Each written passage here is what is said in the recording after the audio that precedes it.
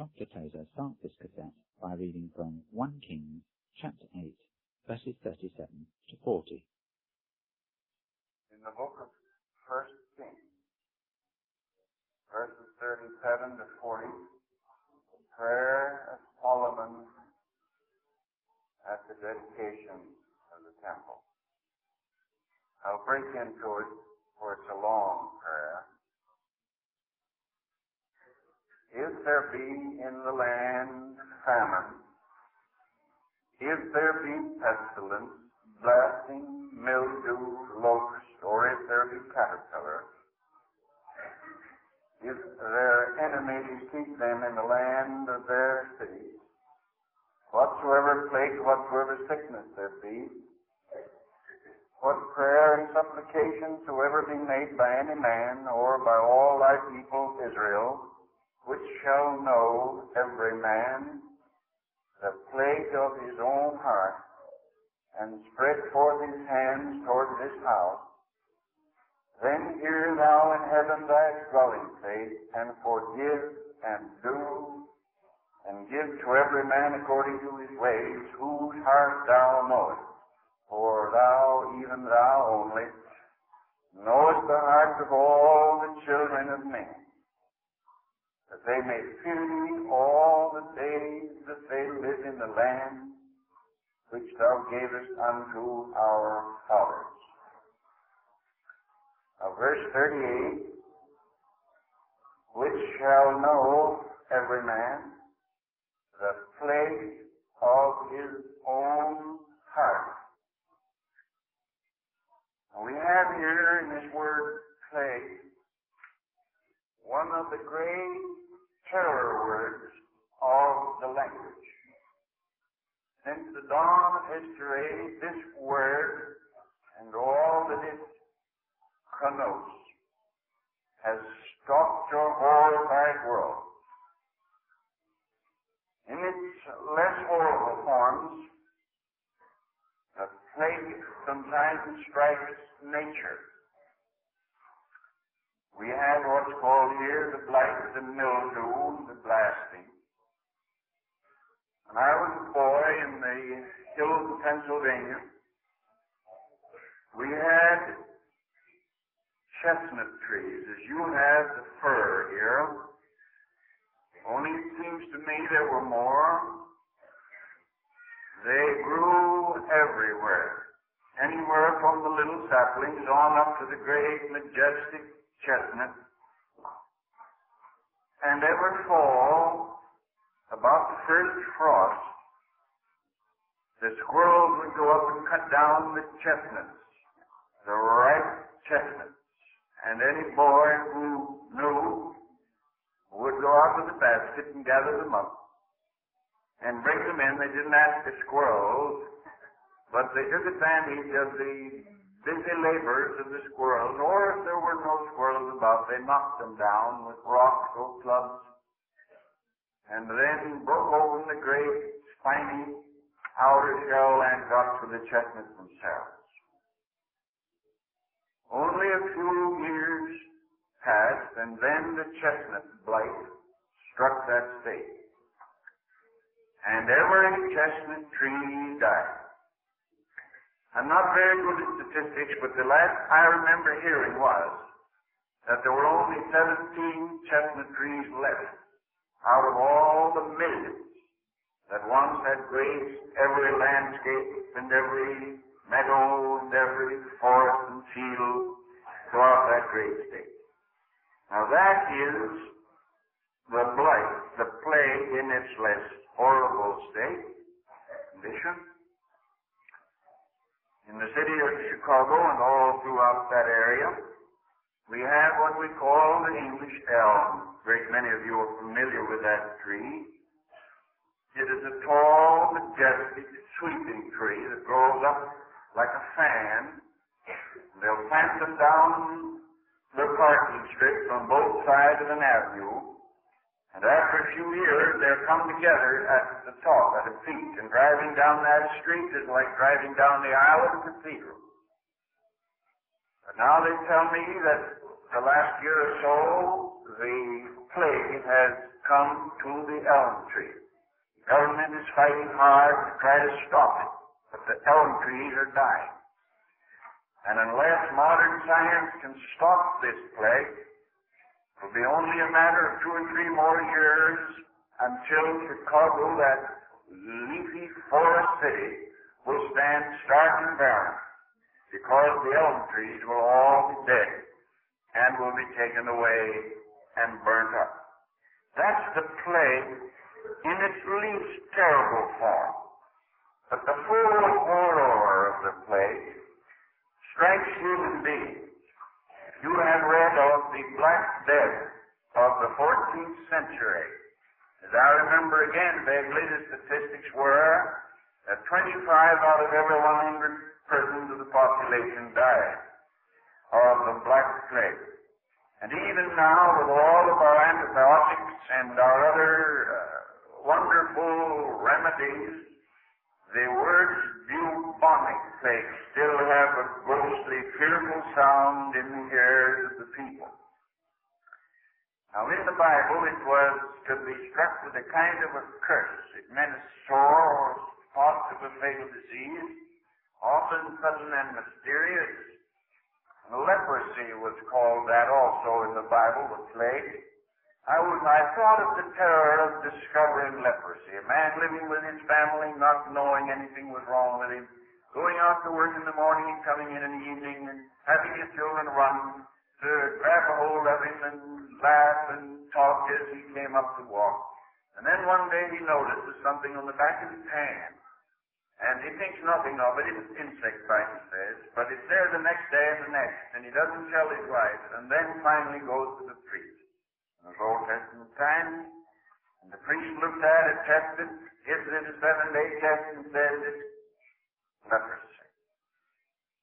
The shock and the horror of this terrible thing. It isn't any wonder that people hate to go to doctors if they suspect they have cancer.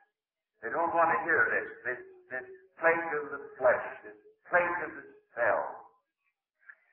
But you know this is not the worst thing that can happen to anybody. And it's not the worst kind of plague there is. For this man in his prayer by the Holy Ghost says, if they know, every man, the plague of his own heart. And we have here the plague of the heart, not in the flesh, it's deeper in.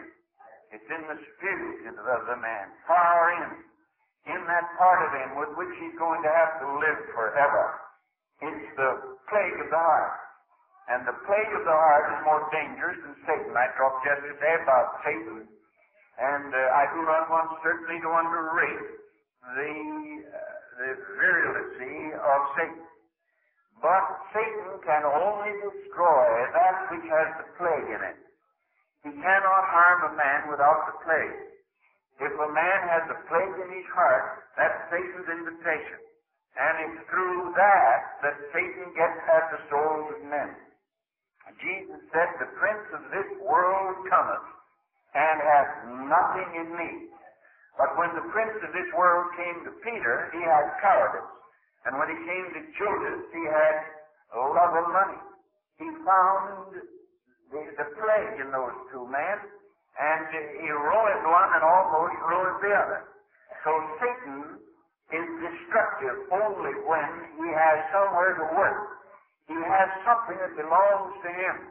He is the father of all plagues.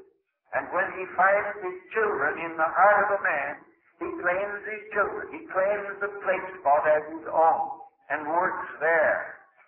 The more dreadful this disease, this plague disease, more dreadful than any physical disease, more dreadful than war, more dreadful than uh, the calamities of nature, more dreadful than the atom bomb, the plague of the heart disease can destroy the whole man. Atom bomb can pulverize you, burn you up, and instantaneously you're gone, but it can't get at your soul, nor your heart, nor your spirit. But the plague of the heart is already in the spirit and the heart of the man. And so it is worse, I say, than the bomb, worse than any calamity that nature can visit. For the plague of the heart can destroy the man. And the strength of this plague of the human heart lies in its healthiness. It's like a panther. It has protective coloration and it can sneak in on you. It can get in there and take over unsuspected while it incubates to change the figure. It can lay its deadly eggs under the leaves of the Garden of Eden. And there it can incubate, and suddenly it appears and spreads and bursts out into the open, and then out into ruinous conduct and habit. And the strange accompaniment of this plague of the heart is that hardly anyone will admit its presence. Hardly anybody is willing to admit that there's any plague there. Because it carries a shame and a fear. You, if you say you want to get your need met, anybody will come because he doesn't lose any faith when he comes to the altar to get a need met. That's very general. and It may be anything. Uh, and a man can proudly walk down the aisle to have a need met. But if you say you, you have the plague spot that you want to be delivered from, then we tighten up, and you don't have many successful altar calls talking as I am going to tonight.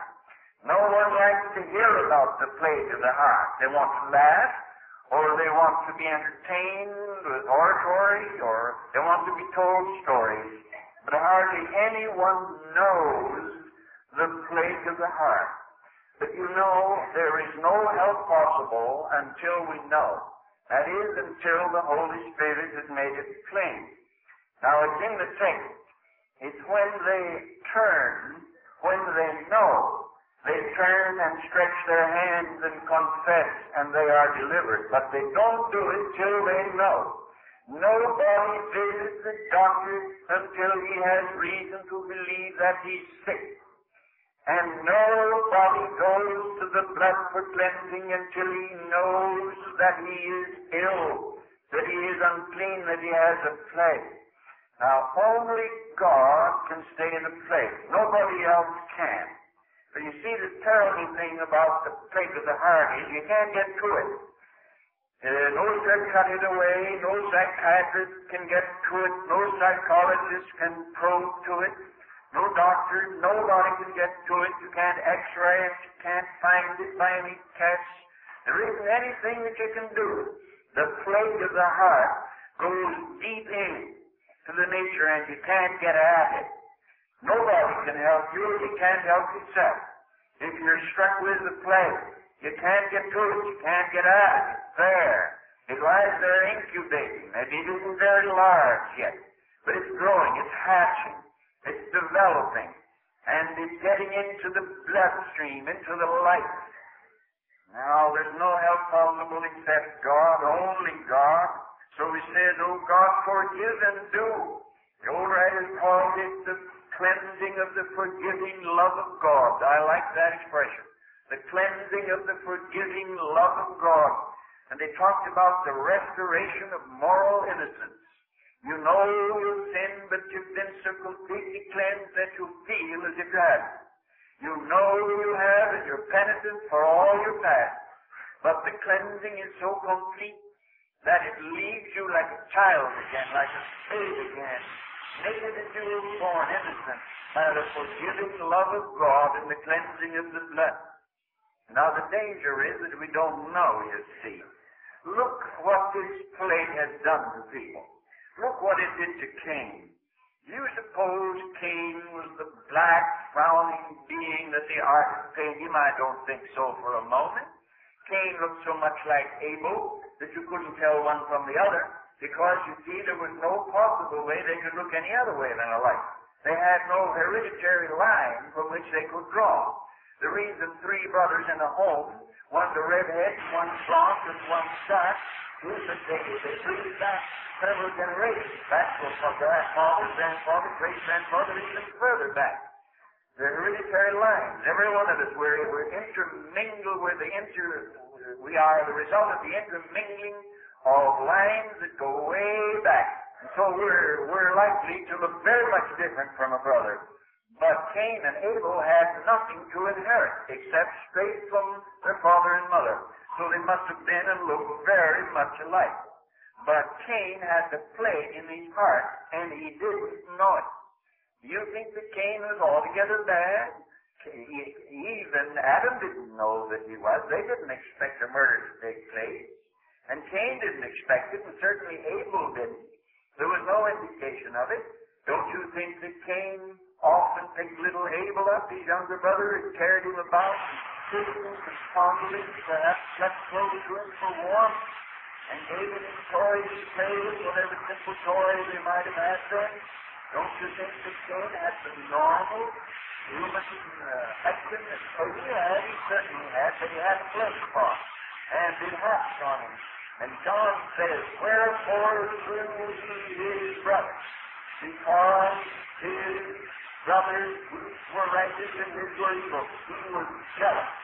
It was jealousy in the heart of the man Cain that caused him to say to his brother, Let's take a walk. And when they took the walk, one of them came back and the other was buried under the leaves. They found his blood there in the soft earth, and that blood cried to God for vengeance against the man with the plague spot. And then there was Achan in the Old Testament. Think of this man Achan. Now Achan was a decent fellow. Nobody can tell me any otherwise, but what he was a decent fellow. He had a wife whom he no doubt loved. He had a family, quite a good sized family. And he was a good, decent, obedient man. And he was so obedient and decent that nobody ever dreamed that he would be the one that would steal the golden wedge and the brilliantly Babylonish garment, disobey God's direct command. Nobody dreamed that. You see, if he'd have been a delinquent or a, a borderline criminal or a fellow you had to watch, they wouldn't have had to draw lots to find out who it was. They'd have known. They'd have said, the Lord, good question. Probably been into everything. He probably the fellow. Achan was a good chap. He might have come in the choir and uh, helped around and and done lots of nice things. There's nothing wrong with Achan, except that he had a plague spot that he didn't know about. He wanted gold and he wanted the garment. And he disobeyed God to get them. And Israel was defeated, and God said, Hunt out the man, search out, you'll find the man with the plague spot. You find get rid of him, and they. So they did. You think that this man, this man, ever meant that he was killed because his wife was killed by execution? Because his children was killed? You think that Achan's heart didn't ache and his face turned deathly pale when they came to him? And they said, Stand up, stand up there's either you work there, stand up. He took his wife, put his arms around her, and I suppose he said, Can you forgive me? I never meant it. I never meant it to hurt you. I never meant to hurt you. I just wanted to go. I don't know what she'd say, and I don't know what the children would say, or could say. But they put them there in the valley of Achan and stoned them to death. So the cloud watched over them that all generations might see what the plague can do to a man's heart when he hadn't dealt with it. And then there was Herod. You remember that man Herod who used to listen to John the Baptist? Herod was, I suppose, an average king, and he listened. He listened with a lot of pleasure and a lot of worry. He had an anxiety about this prophet. He'd send for him and say, Preach to me. And Herod would come in and preach. I mean, John the Baptist would come in and preach to Herod. And uh, then one day, Herod put on a party. When he put on a party, and he had a little sleepy uh, girl dancing for him there. One of those pretty little painted dolls, slick and sleazy. And she stood up there and gave it all she had and danced before him. And the old man's eyes began to shine with a light that shouldn't be in an old man's eyes. His old bald head indicated he should be dead by now, but he wasn't. And when he looked at that, he looked at that girl, and as she sinuously waved like a willow in the wind and leaped and made eyes at him, he couldn't take it any longer. He called her over, some sweat breaking out on his lecherous brow. And he said, uh, What would you want, honey? Ask. Anything and I'll give it. She said, I'll ask Mama. She dashed off, and her Mama was ready. She said, the head of John the Baptist. And before, because he had made that vow before all the rest, he couldn't take it back. And so, trembling with superstitious fear, he sent an executioner out and brought in the head of John the Baptist on a tray and gave it to that little wench. And she took it and gave it to her mother. You think that Herod ever expected this? His lust and his recklessness and his fear and his pride and his love of his job. Do you think he ever meant to kill a prophet? The terror might follow him all the rest of his days. Because when Jesus came into his neighborhood and did miracles, he went white with fear and sent somebody out to ask if this was John the Baptist come from the dead. The ghost of John the Baptist's head grinned out of every hedgerow in the dark from there on till Herod died. Herod never meant to do this, but he didn't know the plague of his own heart. Later on, there was a man by the name of Ananias. He loved money and he loved to stand well with the congregation.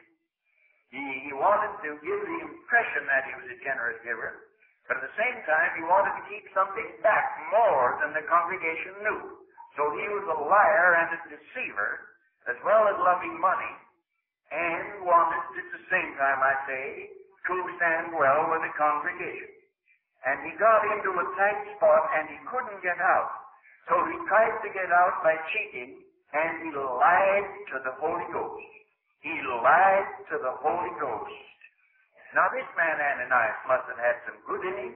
You tell me that a man with his wife who could uh, stand in the fellowship of that early church, that straight early church, straight-laced morally, with the Holy Ghost upon them like flames of fire, do you suppose that he was a careless man? Never. A careless man couldn't have got away with it. That is a careless loose liver. You think that he didn't live a close life? He certainly did. But he had a plague spot in his heart. The plague was there. The plague was on him. And he lied to the Holy Ghost. And Peter said, send for the man. If Peter hadn't had the gift of discernment, they'd never have known Never known. He'd have lived and died an old man, and probably when he got old, they'd have given him some kind of a Christian medal or book or Bible or present to say to Ananias for his long, faithful work here as a member of our Lord. But Ananias, God got to Ananias, brother. The Holy Ghost got through to Ananias. He had a reputation for being a fine member of that church, but he was a sneaking deceiver. And he had a reputation for being generous, but he lied about how much he gave. And he fell dead. And they carried him out. And when they saw his wife come, she fell dead and they carried her out.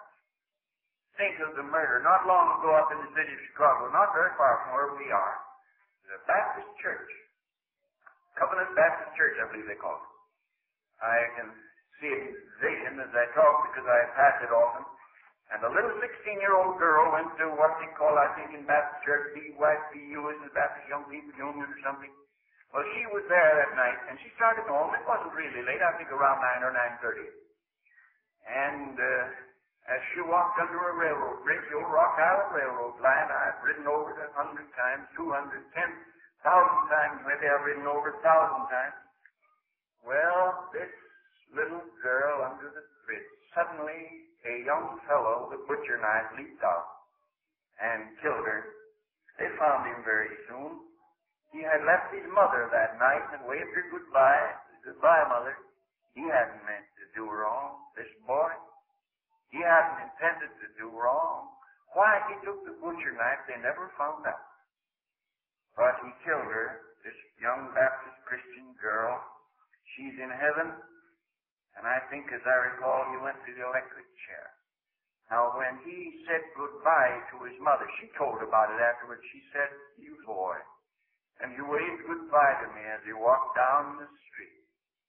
When he came back, he had the blood of a little girl on his hands. He had a plague that he didn't know, a plague that his mother didn't know. You think he intended to go that far? No, he never intended to go that far. the common sinner who never does a dramatic thing. That is, he's not dramatic in his sinfulness, he's just a sinner. But there's a plague there working in him, and it's the plague of his heart, and it's going to lead him into fatal, fatal sins. There are sins from which you can recover. There are sins from which you can't recover. There are, there are sins that you don't pray, can't pray for. At least one. And there are many sins that people never do because when they've committed them, they don't try to come back. They could, but they don't try to.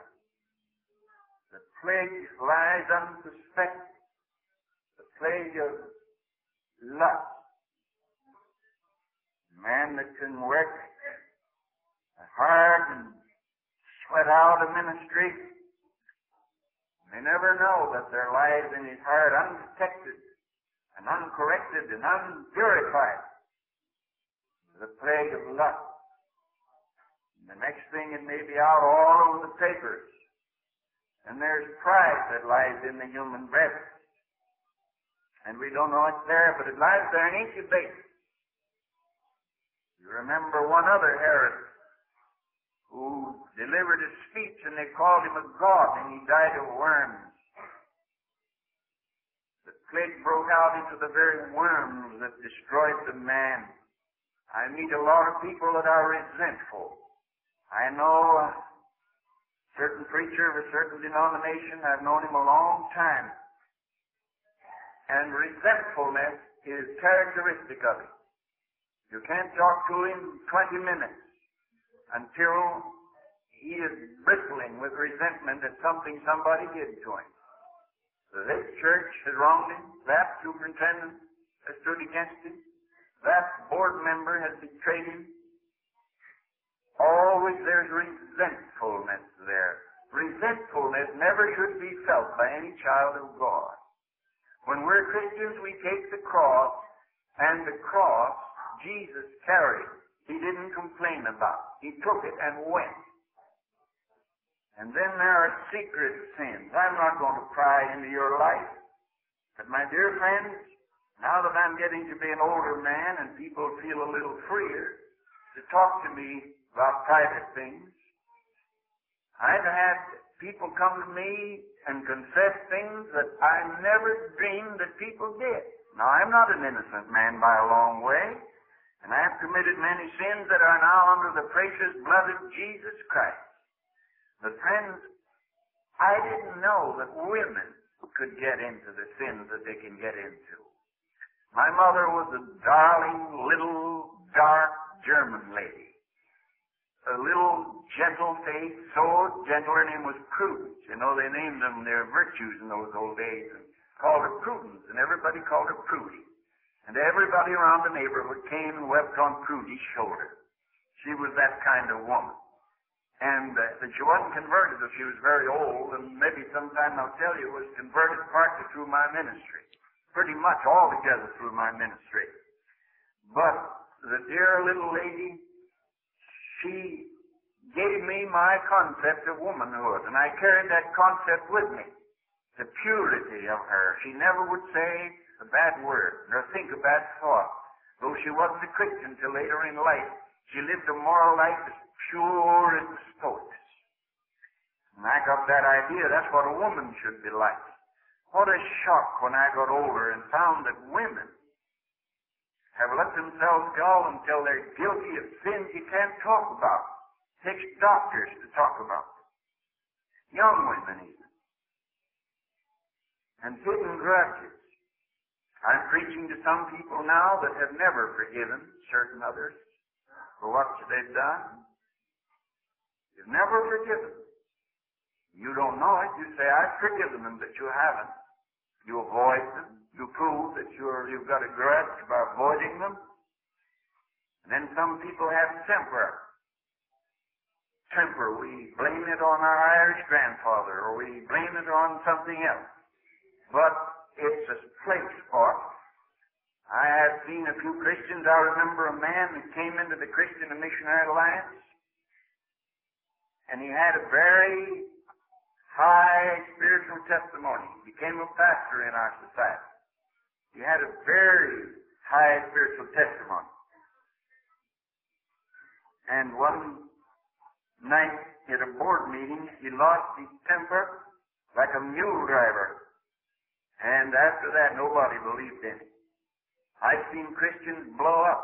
I was riding with a Christian one time. I thought he was a fine Christian. He had a new car, and somebody came along and dented his fender. He blew like a little bomb. I never believed in him again. Whenever I see a man blow his top, I never believe in that man unless I know he has gone to the fountain that cleanses and gotten delivered.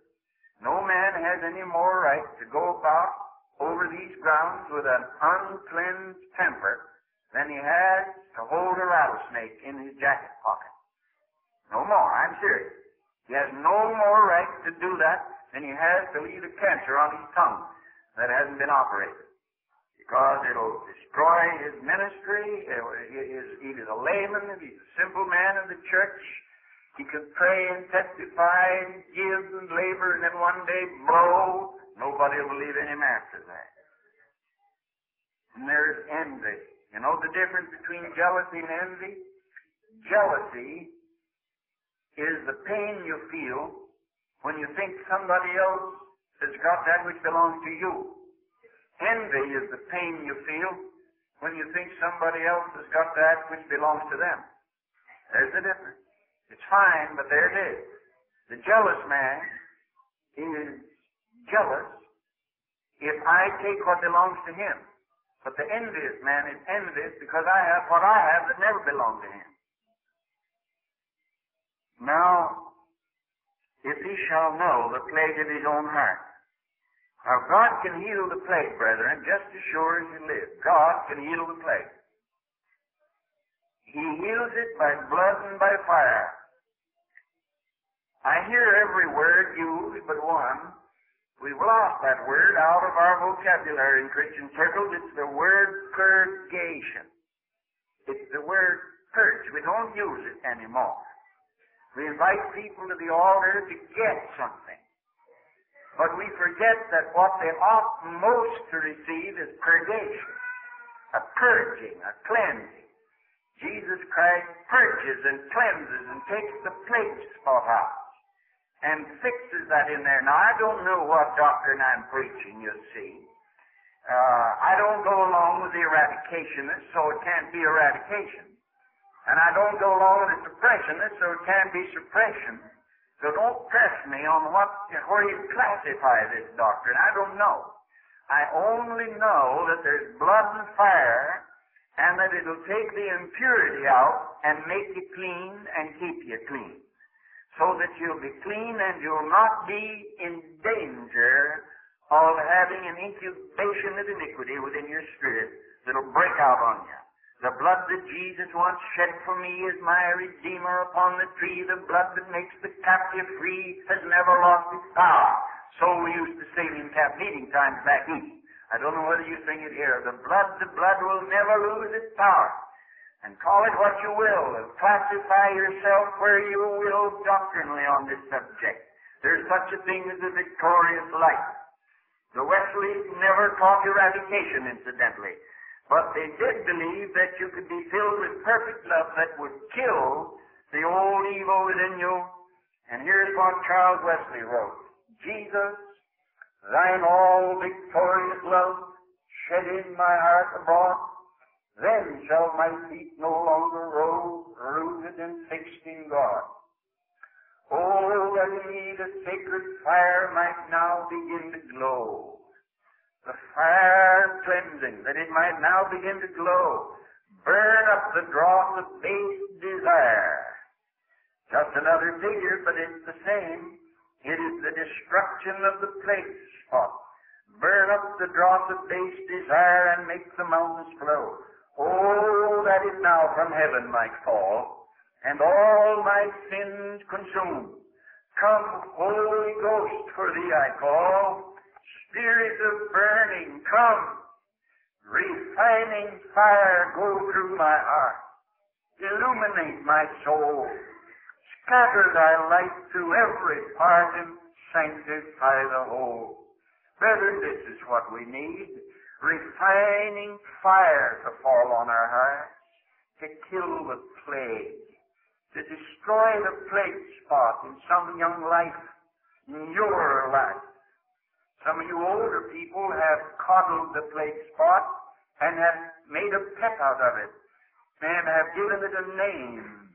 Uh, you've euphemised it, you see, and fixed it up with a euphonious name so that it doesn't sound the way it used to.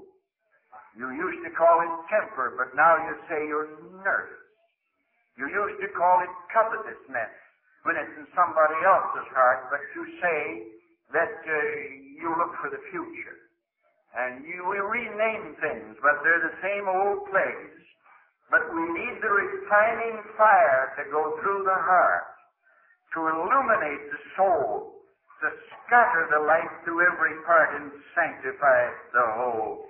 My steadfast soul from falling free shall then no longer move, move, while Christ is all the world to me and all my heart is love. What we need is cleansing, my brethren. If I say come and get, you'll come to get. But I say come and get delivered, come and get freed from something. And of course then we lose faith when we do that. And we don't like it. I preached one time something on this order at one of our camps, and of those that came was a young woman. And I haven't forgotten her. I think was seven years ago or eight. Forgotten this young woman. That face of hers. She knelt at the altar, and God gave her what she wanted and took away what she was ashamed of. And she leaped to her feet completely delighted.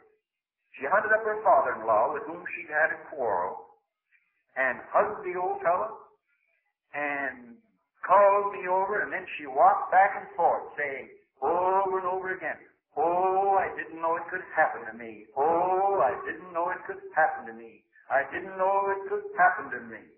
What happened? Oh, let's not be technical and become doctrinal and divided. Let's just say the refining fire went through her heart and illuminated her soul and scattered God's light through every part and sanctified the whole. And she leaped up and said, I didn't know it could happen to me. My dear friends, the Alliance has always taught this. But nowadays we don't quite teach it. We, we apologize for it. I don't apologize for it. I know what God can do for a man. I'm born of a English paternal side and a German maternal side, and I got the worst of both sides. The high pride of the English and the stubborn temper of the German. And I had both. And I had a temper so bad that once, at least that I remember, I got so mad it made me sick. I went to bed in illness. I've seen my father, and this is the English side too, I've seen my father get so mad that he would pull a horse back on her haunches until the bit in her mouth would all but make her mouth bleed. I've seen my father lose his temper and get so angry that he would grab the shovel and beat the wheelbarrow in insane anger. And I had that same thing. A temper that would leap and go precious blood of Jesus and the fire of the Holy Ghost has made me unlike my father, though I grew up to be like him. When I look in and shaving, I see my father looking out. But my father didn't know the plague of his own heart till he was 60 years old. Then he was converted in the Baptist church and uh, went to the Baptist church and died when he was 64. He had four years to walk with God before he finally went.